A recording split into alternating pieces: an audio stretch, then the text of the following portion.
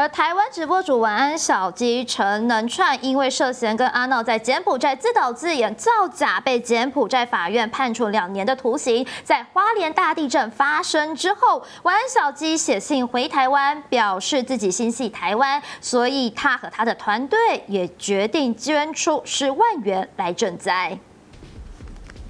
来信当中，他表示自己虽然在柬埔寨，不过还是非常关心台湾的事，尤其知道花莲发生地震，所以希望受灾户都能渡过难关。虽然自己远在千里之外，但他的心依然在台湾左右。也因为自己小时候的经历，也曾经接受过援助，所以长大之后也会帮助弱势。这一次也没有例外，就是捐款来帮助东台湾，是他自己在狱中想到。的同时，眼下唯一能做的事，因此他也请团队协助帮忙捐款十万元，希望大家一起为祈祷天佑台湾。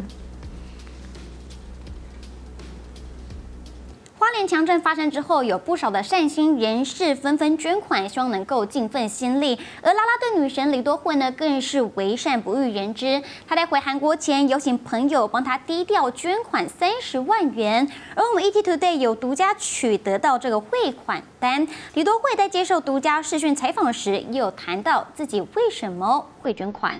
哦，要帮助捐三十万。嗯，因为。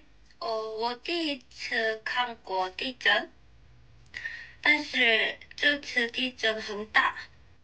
还有，嗯，我想看看帮忙台湾，我试试看看。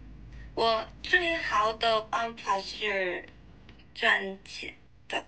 那有没有什么话想要对这些呃在地震当中的朋友们说的？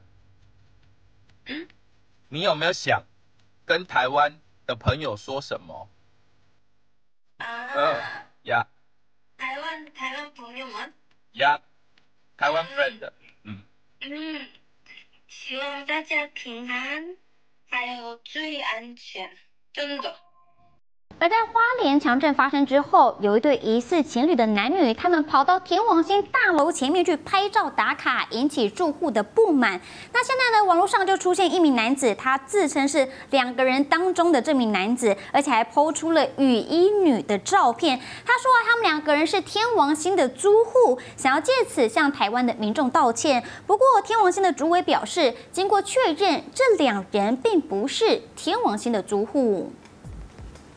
该名男网友在脸书社团发文表示，写上不好意思，现在才出来跟大家道歉。他跟女友两个人在三月二十四号搬进天王星，可能因为他们是承租户，也有可能因为居住的时间不长，因此很多住户还有管委会主委都不认识他们。再多的解释都没有办法解除各位的气愤，再次万分的对全台湾民众道歉。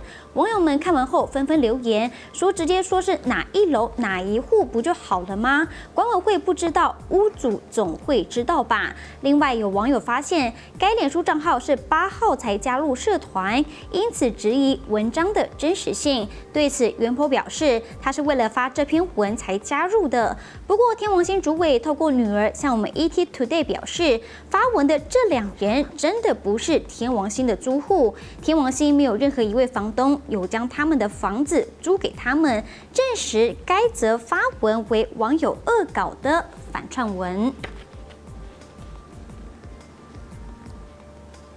而花莲强震导致天王星大楼倒塌倾斜，当时第一个抵达现场的就是花莲分局的警官彭顺熙。他除了紧急疏散附近的车辆以及民众，也与赶来的第一组消防人员一起来营救。受困在大楼的住户，而成功救出了四位民众。他事后谦虚的说：“民众有难不能不管，这可能与警察魂有关，而且当时只想让伤亡减至最低。”我第一时间基于就是，呃，怕民众不晓得发生什么事，所以赶快要去。告知他们，让他们不要受到二次伤害。三日花莲发生强震，地震当下，花莲分局第一组组长彭顺熙与警备队警员黄新奎在第一时间抵达现场，两人立刻疏散车辆及百姓，配合消防局救难人员架起长梯，携手合作，成功救出四名受困民众。彭顺熙事后谦虚地说：“当下自己也没有想那么多，或许和警察魂有关，让伤亡减至最低。经历过零二零六这个这个大地震这个灾难之后，那让我参与那这样的一个过程，让我深深也有感，所以第一时间会立刻冲现场。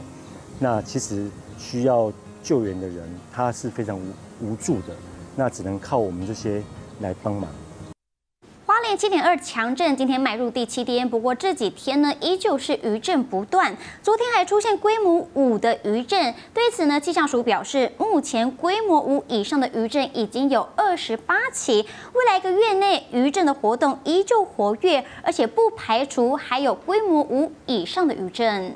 因为规模这个七点二的地震呢，它的余震的时间可能会相当长，所以也不排除在这个。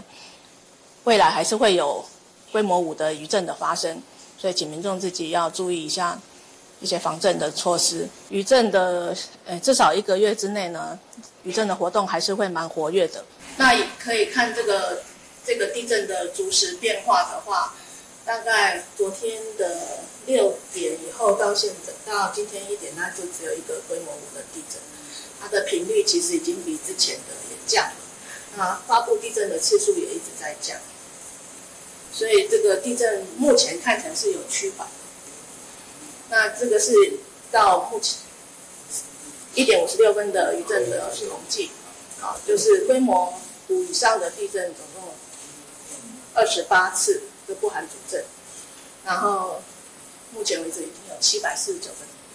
台中今天经传有一对情侣吵架，没有想到男友竟然要求女友朝自己泼汽油，而且要点火烧他。这名女友也真的就这样做了，导致男友全身起火，有百分之六十八的烧烫伤。台中市西屯区今日上午，经传情侣吵架，冲突之际，女方竟朝男方泼汽油并点火，导致两人受伤。据了解，三十四岁的谢姓女子手部受伤，送医抢救，但被泼汽油的四十一岁李姓男子伤势严重，全身包括肚子、脸部、胸部等多处约六十八趴烧烫伤，送台中荣总抢救。因为口角发生纠纷哦，并且要求这位。李姓女子去购买机油，李姓男子要求哈，这个他的女朋友在他身上泼洒油漆啊，并且这个谢姓女子也这样照做哦，并且点燃火势啊，相关的双方犯险，我们都介护就医，并后续依法来公共危险罪来侦办。根据了解，这名男友平时就是治安顾虑人口，而且有毒品的相关前科，现在他的身份也已经曝光，竟然是日前撞死细品工程师的。刁烟恶男。机车停等红灯，却遭后方白色汽车无减速追撞，拖行至少二十公尺。台中市西区十二日清晨，一名三十九岁陈姓工程师准备到中科上班，汽车行进一处路口停等红灯时，却遭后方一辆白车无减速追撞，陈男连人带车被拖行至少二十公尺，当场无呼吸心跳。而肇事驾驶正是糟泼汽油的李姓男子。事发之后，李男却站在旁边和朋友聊天说话，边吊唁边。签名对着机车指指点点，似乎事不关己，引发网友挞伐。而李男也在三月十五日被警方拘提到案，软只脚被移送地检署，检方裁定三十万元交保。